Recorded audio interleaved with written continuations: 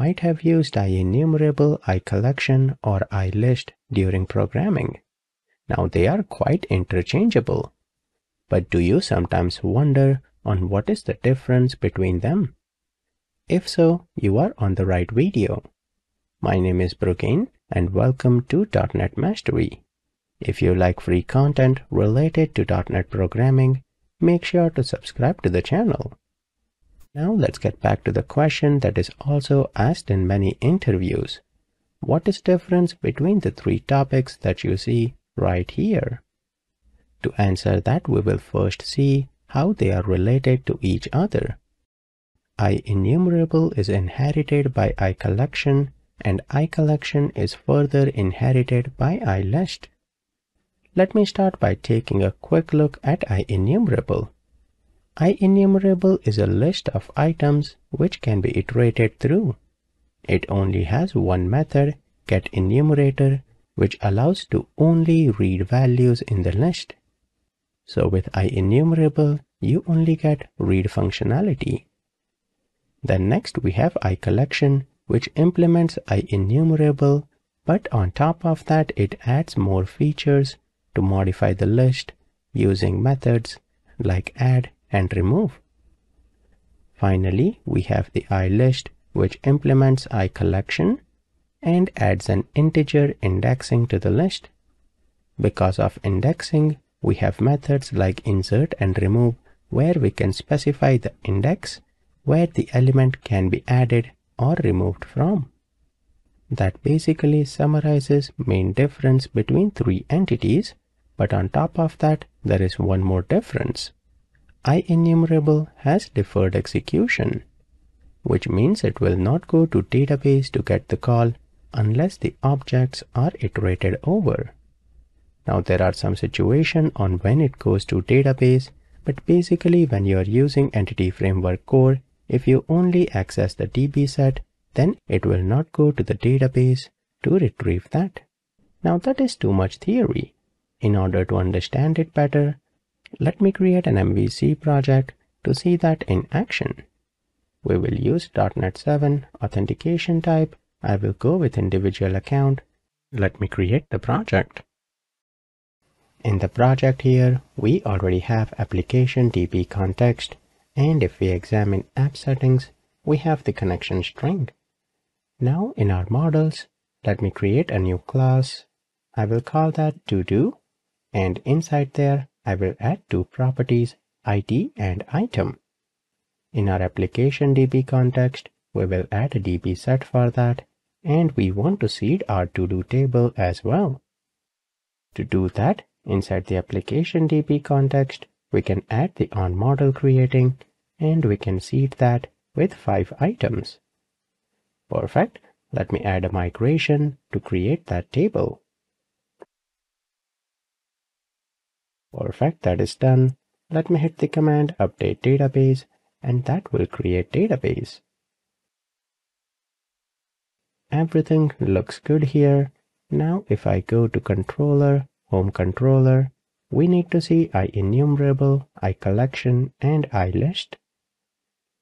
First thing first, we need to access application DB context. So let me add that using dependency injection.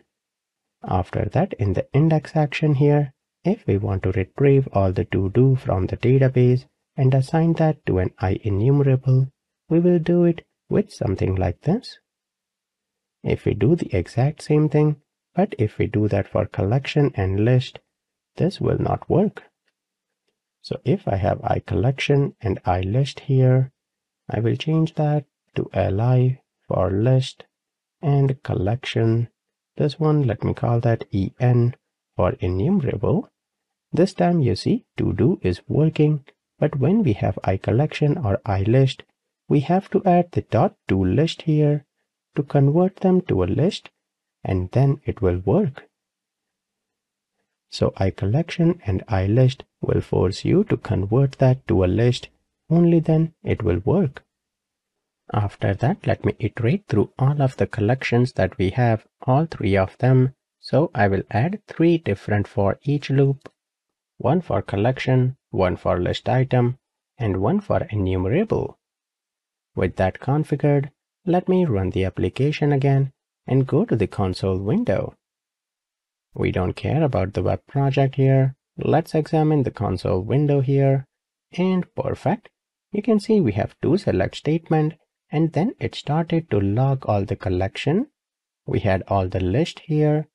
And then when it was logging the enumerable, it did not go to database for the select statement. So for enumerable, because of deferred execution, it executed that select statement and then it logged everything. So perfect. With that, you can see for all three of them, we can have a for each loop and iterate through them. On top of that, I also want to show you something else. If you want to sort them, you can also do order by, or if you want to do a where condition here, that can also be done. All of this condition can be done on all three entities that we have. So everything that we have seen so far can be done on enumerable, collection, and list. But now let's take a look at something that cannot be done in an IEnumerable. Let's say you have a new to-do object that you want to add to the collection list that you have. You can easily add that on collection and list by using the add helper method that is present. But inside the enumerable, we do not have that. So on to do underscore en, if I try add, that does not exist.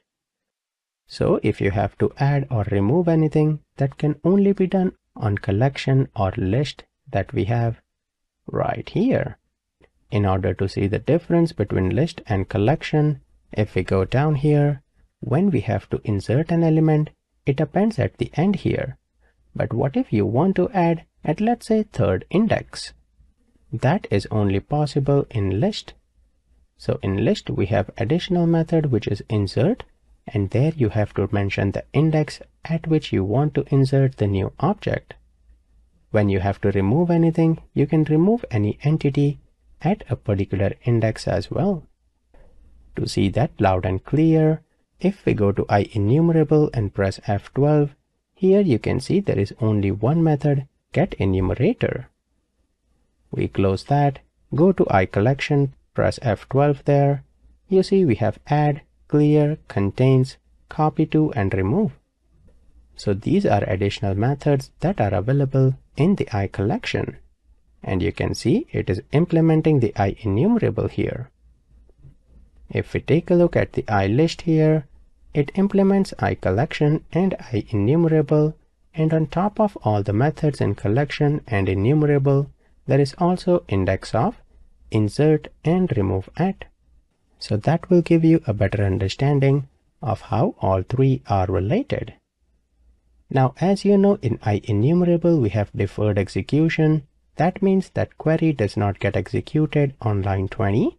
It will get executed when we iterate inside the for each loop. That can be a blessing or that can be a curse if you are not careful on when you use that. To see that, I have added one example of a bad use case of deferred execution we know the to-do en does not get executed online right here. And as an example, what happens here is when we have first our default, it will go to database. Let me run this and rather show you. So we will add a debugging point and run the application. Perfect. We have the logs here. That is fine. But now let me do this. When I press F10, let me examine what query gets executed. First, we are working on enumerable here, and here we are working on collection. Let me press F10 there, and you can see a new query was executed. Then on first or default, we have one condition. If I press F10 again, you can see another query was executed. If I press that again, you can see a third query was executed all the three queries were exactly the same. The filter condition that we have or count that we have, it did not add that to the SQL query because we are using enumerable. If this was iQueryable, that would be a different thing. But with IEnumerable, with deferred execution, every time it is requested, it is going to our database. But if we take a look at a collection here, it already executed on line 21. So that way, if we press F10, you can see it does not go to database anytime. It already had that in memory and based on that it was performing the operation and giving all the result that were needed. So with deferred execution, you have to be careful. If you do not pay attention, you will have many database calls as you can see here. So now the main question, should you use iList, iCollection or I iEnumerable? If I only want to iterate through the objects and there is no requirement for any modification, I would stick to I iEnumerable. But if you have to add or remove items, then iCollection is good enough. I would only use iList if the indexing functionality was needed.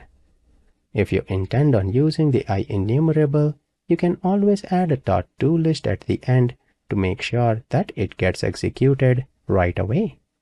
To show that in example here, where we have the iEnumerable, if you add dot .to list and run the application again, let me pull up the console window. This time we have three select statements because this iEnumerable was executed.